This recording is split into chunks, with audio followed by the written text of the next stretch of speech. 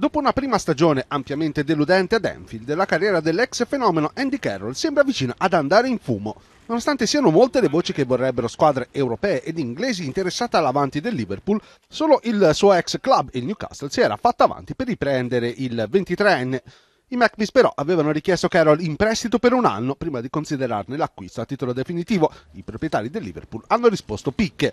Ad aprire la trattativa, in vero non molto affollata per l'avanti, erano state le parole del nuovo tecnico Brendan Rodgers che considerava Carroll non essenziale per i suoi schemi.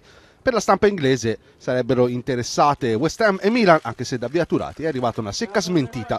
Il centravanti è arrivato nel gennaio 2011 dal Newcastle per qualcosa come 40 milioni di euro, non è mai riuscito a integrarsi a Liverpool segnando solo 11 reti.